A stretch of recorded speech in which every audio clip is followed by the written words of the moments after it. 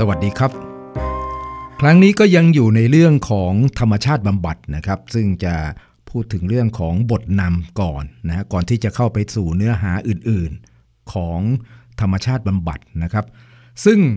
องค์การอนามัยโลกนะครับได้ให้คำนิยามไว้ว่าเป็นภาษาอังกฤษนะครับ health is the complete well being of the body mind social and spiritual ซึ่งก็ถ้าแปลเป็นภาษาไทยนะครับก็เป็นหมายถึงสุขภาพหรือสภาวะที่เป็นสุขนั้น ต้องมีความเป็นอยู่ที่ดีทั้งร่างกาย จิตใจ สังคมและจิตวิญญาณ ในยุคสมัยที่วิทยาศาสตร์ และเทคโนโลยีเฟื่องฟู เช่นในปัจจุบันนี้นะครับ เรามีทั้งเทคโนโลยี การแพทย์ที่ทันสมัย ทั้งเครื่องมืออุปกรณ์ที่ทำให้ชีวิตเรา สะดวกสบายมากขึ้นกว่าบรรพบุรุษมากเลย การจะได้มาซึ่งสุขภาพดีเนี่ยนะครับน่าจะไม่ใช่เรื่องยากนัก แต่จากสภาพการต่างๆ รอบตัวเราทุกวันนี้กับทำให้เรารู้สึกว่าคำนิยามขององค์การอนามัยโลกเนี่ยออกจะเป็นเรื่องยากที่จะทำได้จริง อย่าว่าแต่สุขภาพจิตใจ สังคมหรือจิตวิญญาณเลยนะครับ แม้กระทั่งการดูแลร่างกายของเราเองแท้ๆเนี่ยนะยังหวั่นอยู่ว่าจะสุดโทมเพราะโรคที่คาดไม่ถึงเข้าสักวัน ในทุกวันนี้มีโรคร้ายที่ไม่สามารถรักษาให้หายเกิดขึ้นมาเรื่อยๆ โดยที่การแพทย์แผนใหม่ ยาแผนปัจจุบัน แทบจะไม่ได้ให้ความมั่นใจใด ๆ แก่เราเลย ไม่ต้องเอ่ยถึงโรคเอดซา อีโบลาไข้หวัดนกโควิด เอาแต่โรคมะเร็ง เบาหวาน หัวใจ ความดันโลหิตทำไมโรคร่วมสมัยเหล่านี้ถึงได้จู่โจมเราง่ายดายเหลือเกิน คนรู้จักก็เป็น เพื่อนก็เป็น ญาติก็เป็น ดูเหมือนโรคไร้เชื้อ และเลื้อหลังพวกนี้อยู่รอบๆตัวเหล่านี้เอง มันพร้อมจะเข้ามาทักทายทุกเมื่อ ทำไมถึงเป็นเช่นนั้น เกิดความผิดพลาดอะไรขึ้นกับชีวิตของพวกเราหรือเปล่า คงถึงเวลาต้องทบทวนแล้วว่า สิ่งที่เราถูกสอนให้เชื่อและยอมตามนั้นจะพาชีวิตเราไปทางไหน หลักโภชนาการที่เราล่ำเรียนกันมาว่า ให้กินเนื้อ นม ไข่ ตามอย่างตะวันตกนั้น เป็นคำสอนที่ถูกต้องเพียงใด โรงพยาบาล แพทย์ หรือยาสมัยใหม่เท่านั้นหรือที่เป็นหนทางสู่สุขภาพดีของเราสำนักงานคณะกรรมการประเมินเทคโนโลยีแห่งรัฐสภา ของอเมริกันกล่าวว่า การหายจากโรคโดยการใช้เทคโนโลยีทางการแพทย์มีไม่ถึงร้อยละ 20 นอกนั้นหายเพราะเหตุอื่น เช่น หายเอง หายเพราะความเชื่อหรือศรัทธา หายเพราะการได้รับเอาความได้รับความเอาใจใส่ เห็นได้ว่าการรักษาโดยวิธีของแพทย์แผนใหม่ที่เราไว้ใจเนี่ยมีผลเพียง 20%เท่านั้นเอง ส่วนสาเหตุที่หายอื่นๆอีกร้อยละ80ล้วนไม่เกี่ยวข้องกับเทคโนโลยีเลย อันนี้เป็นสิ่งที่สำนักงานคณะกรรมการประเมินเทคโนโลยีแห่งรัฐสภาของอเมริกันกล่าวเข้าไว้นะครับ นอร์แมนคัสซินส์ กล่าวไว้ว่า โรงพยาบาลไม่ใช่สถานที่ที่เหมาะสมสำหรับผู้ป่วยนัก การขาดความเคารพต่อสุขอนามัยพื้นฐานอย่างน่าประหลาดใจ การแพร่ระบาดอย่างรวดเร็วของเชื้อ staphylococci และเชื้อก่อโรคชนิดอื่น ๆ ทั่วทั้งโรงพยาบาล การใช้เครื่องเอ็กซเรย์อย่างมากมายพร่ำเพรื่อ การใช้ยากล่อมประสาทและยาระงับความเจ็บปวด อย่างดูเหมือนว่าปราศจากการแยกแยะ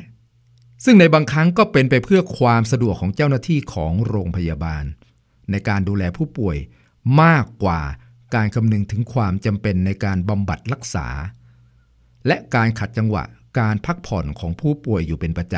ำ ด้วยงานประจำวันของโรงพยาบาลสำหรับผู้ป่วยนะครับ การนอนหลับนั้นเป็นโชคดีพิเศษ และไม่ควรจะถูกรบกวนโดยปราศจากเหตุผล สิ่งทั้งหลายเหล่านี้รวมทั้งการปฏิบัติอื่น ๆ ในโรงพยาบาลดูจะเป็นข้อเสียที่สำคัญของโรงพยาบาลสมัยใหม่ ถึงวันนี้ ผู้คนจำนวนมากได้เริ่มหันเหความเชื่อจากการแพทย์สมัยใหม่ ไปสู่ทางเลือกในการบำบัดเยียวยาวิธีอื่นๆ โดยเฉพาะการหันกลับไปหาธรรมชาติและความเรียบง่าย ด้วยวิธีการที่เรียกว่า ธรรมชาติบำบัด ซึ่งเป็นวิถีและวัฒนธรรมแบบดั้งเดิม ที่บรรพบุรุษเราเคยปฏิบัติกันมา ธรรมชาติบำบัดจึงไม่ใช่เรื่องใหม่เลย แต่เป็นเรื่องที่มีมาตลอด เพียงแต่เราได้ละเลยกันไปเท่านั้นเองครับ ผู้ที่เชื่อถือในกระบวนการรักษาของแพทย์แผนปัจจุบัน มักมองว่า ธรรมชาติบำบัดเนี่ยเป็นเรื่องของคนงมงาย แต่ความจริงของธรรมชาติบำบัดไม่ใช่ไสยศาสตร์นะครับ หากเป็นเรื่องที่ต้องอาศัยการลงมือกระทำด้วยตนเอง เพราะคนที่เลือกขนทางนี้ ต้องดูแลตัวเอง ต้องปรับเปลี่ยนชีวิตเข้าสู่ความเรียบง่าย และสอดคล้องกับธรรมชาติทางด้านร่างกาย คือการปรับเปลี่ยนการกินอยู่ และด้านจิตใจ คือการพึ่งพาตนเองแหละครับ และแนวคิดในเชิงสร้างสรรค์ การเอาร่างกายไปนอนบนเตียงรอให้แพทย์ฉีดยา สั่งยาให้ อาจเป็นหนทางที่ง่ายดายกว่า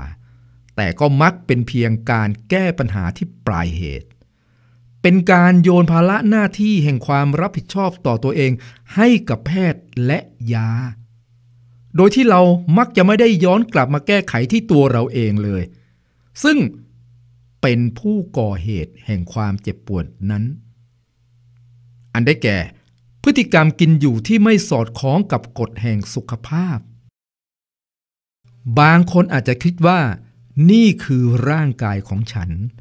จะกินอะไรก็ได้ จะเดินยังไงก็ได้ จะเป็นมะเร็ง จะเป็นเบาหวานก็ช่างเถอะ อายุสั้นไปสักสิปี 20 ปีคงไม่เป็นไรมั้ง แต่เมื่อได้ลองป่วยหนัก ได้ประสบความทุกข์ทรมานจากโรคภัยไข้เจ็บเข้าสักครั้ง คุณจะตระหนักว่า ความไม่มีโรคเป็นราบอันประเสริฐ ความตายไม่ใช่เรื่องใหญ่ครับ ที่สำคัญกว่านั้นคือ เราจะมีชีวิตที่ดีได้อย่างไร เป้าหมายของธรรมชาติบำบัดไม่ได้อยู่แค่เพียงการมีอายุร้อยปีพันปี แต่อยู่ที่การมีชีวิตอยู่อย่างเป็นสุขทั้งร่างกายและจิตใจ รวมทั้งการจากไปอย่างสงบสุข เมื่อถึงเวเวลาแห่งวัยอันสมควร จะต้องอยู่ในสังคมที่มีแต่คนป่วย ต้องอาศัยอยู่ในร่างที่เป็นโรค มีจิตใจอ่อนแอช่วยตนเองไม่ได้ เราจะไม่มีทางเข้าถึงสภาวะเป็นสุขได้เลย แต่ถ้าต้องการให้ร่างกายมีสุขภาพดีนะครับ มีความงดงามตามธรรมชาติออกมาจากภายใน ต้องการ